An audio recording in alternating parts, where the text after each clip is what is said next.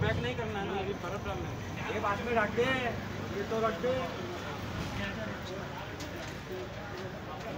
बर्फ़ रखेगा ना?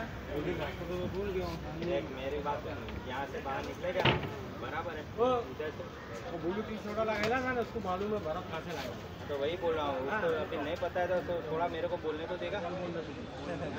यहाँ से बाहर निकलेगा तो तो